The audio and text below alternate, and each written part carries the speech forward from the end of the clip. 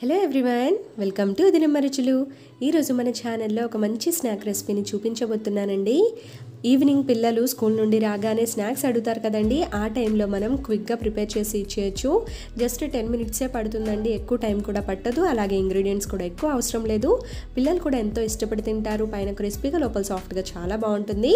మరి మీరందరూ కూడా ఒకసారి ట్రై చేసేయండి. ఈ రెసిపీ కోసం ముందుగా ఒక మిక్సర్ జార్ తీసుకొని ఇందులోకి సిక్స్ వరకు బ్రెడ్ స్లైసెస్ని యాడ్ చేసుకోండి. వీడియోలో చూపించిన విధంగా బ్రెడ్ స్లైసెస్ని ఇలా పీసెస్ లాగా చేసుకొని యాడ్ చేసుకోండి. ఇలాగా యాడ్ చేసుకున్న తర్వాత ఇప్పుడు ఇందులోకి ఒక చిన్న ఉల్లిపాయ తీసుకొని ఇలా కట్ చేసుకొని యాడ్ చేసుకోండి. తర్వాత మీ ఘాటుని బట్టి ఒక పచ్చిమిర్చి లేదా రెండు యాడ్ చేసుకోండి. తర్వాత కొన్ని పుదీనా ఆకుల్ని యాడ్ చేసుకోండి. తర్వాత రెండు లేదా మూడు రెమ్మల వరకు కరివేపాకుని యాడ్ చేసుకోండి. తర్వాత కొంచెం సన్నగా తరిగిన కొత్తిమీరని కూడా యాడ్ చేసుకోండి. తర్వాత వన్ టీ స్పూన్ వరకు సోంఫ్ని యాడ్ చేసుకోండి. తర్వాత వన్ టీ స్పూన్ లేదా టేస్ట్కి సరిపడా సాల్ట్ యాడ్ చేసుకోండి. ఇప్పుడు వీటన్నిటినీ కూడా వాటర్ అస్సలు యాడ్ చేయకుండా సాఫ్ట్గా గ్రైండ్ చేసుకోవాలండి. ఇలా వీడియోలో చూపించిన విధంగా గ్రైండ్ చేసుకోవాలి. ఈ విధంగా గ్రైండ్ చేసుకున్న తర్వాత ఈ మిశ్రమాన్ని మనం కట్లెట్స్ లాగా ప్రిపేర్ చేసుకోవాలండి. చూస్తున్నారు కదా ఇలా కొంచెం కొంచెం తీసుకొని మీకు నచ్చిన షేప్లో ప్రిపేర్ చేసుకోండి. నేనైతే ఇక్కడ స్క్వేర్స్ లాగా చేశానండి. మీకు నచ్చినట్టు ప్రిపేర్ చేసుకోండి. లేకపోతే వడల్లాగా కూడా రౌండ్గా చేసుకోవచ్చు. ఇలాగా అన్నిటినీ కూడా ప్రిపేర్ చేసుకొని పక్కన పెట్టేసుకోండి.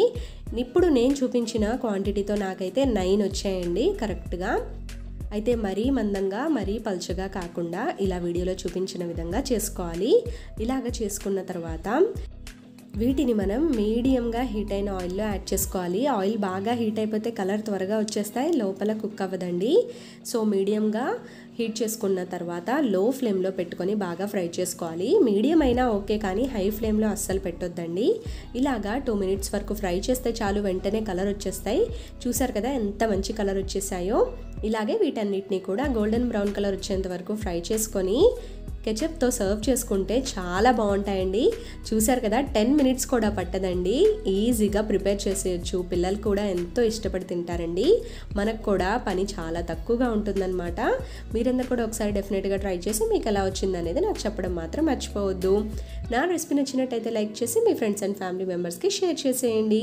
ఇలాంటి మరెన్నో మంచి రెసిపీస్ కోసం వదిన మరుచులు ఛానల్ని సబ్స్క్రైబ్ చేసుకోవడం మాత్రం మర్చిపోవద్దు.